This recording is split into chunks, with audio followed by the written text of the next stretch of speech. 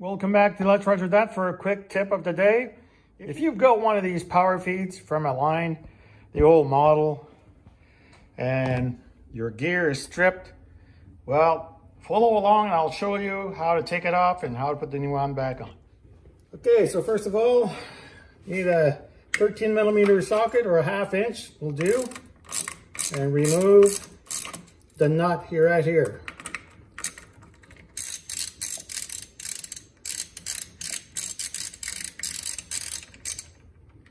All right, now that is off.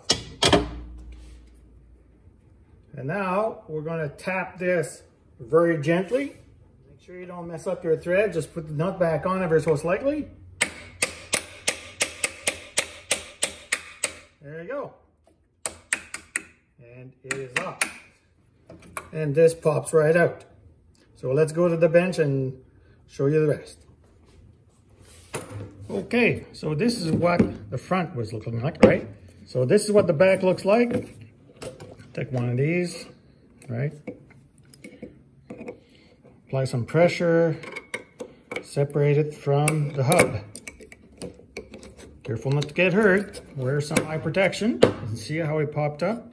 Okay, now, remember that this has to go back the same way. So, locking, locking ring, washer. Then there's two of these little springs here, and truly, they're gonna be a pain, trust me. So pop this out, just like that. Put this aside. Look at your new, what you might call it, and as you'll see, there's a concave part here, and it seats, sits on on here. Put that back on. Okay sorry, put these here.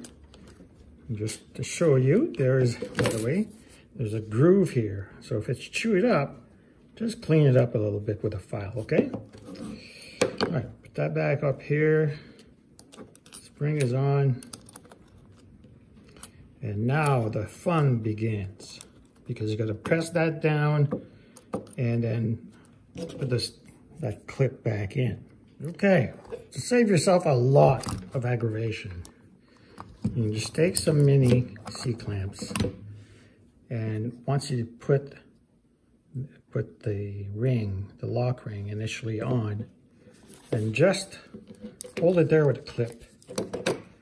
And you see this side is not on yet, right? See this is in, this is in.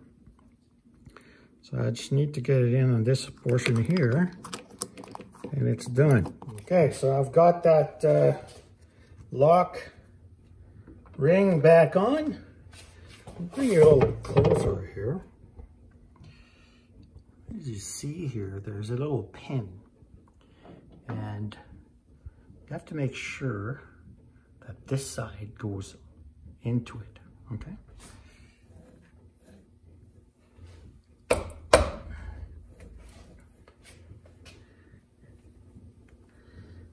All right, I believe it's in. This is not an over tightening type of scenario, okay?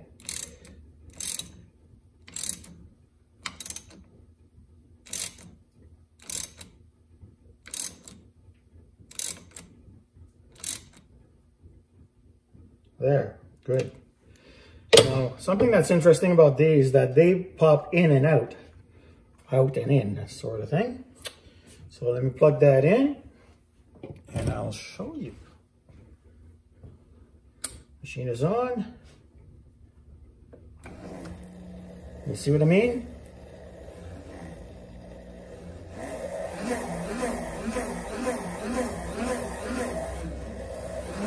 It's kind of a screwy system, but it works.